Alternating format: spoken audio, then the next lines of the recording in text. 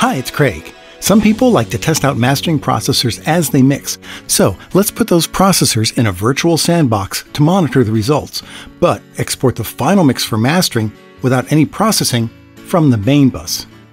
Create what we'll call a pre-main bus, assign its output to the main bus, and set the main bus fader to zero. Insert an LUFS meter in the main bus. By selecting all mixer channels, then changing the output assignment for one channel will change the outputs for all channels. Assign the outputs to the main bus, play the project, and check the level meter's LUFS reading.